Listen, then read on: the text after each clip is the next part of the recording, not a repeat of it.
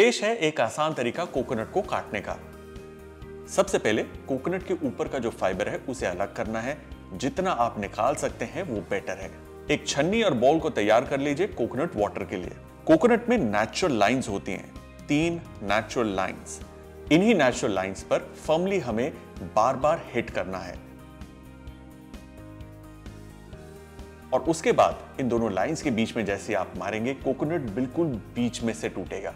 पानी कलेक्ट कर लीजिए, छान लीजिए, ये तैयार। चाकू से कोकोनट निकालने की कोशिश करी तो कोकोनट टूट टूट कर निकलेगा, प्लस हाथ भी कट सकता है। इसलिए बेस्ट है कोकोनट को आप सीधा आँच के ऊपर रखिए। गैस के ऊपर 30 से 35 सेकंड के बाद इसे रिमूव करके कपड़े में रखिए। फर्मली पकड़ने के बाद चाकू इसके इर्द गिर्द चलाइए गरी खुद ब खुद ढीली होकर बाहर आ जाएगी। Enjoy fresh coconut and coconut water.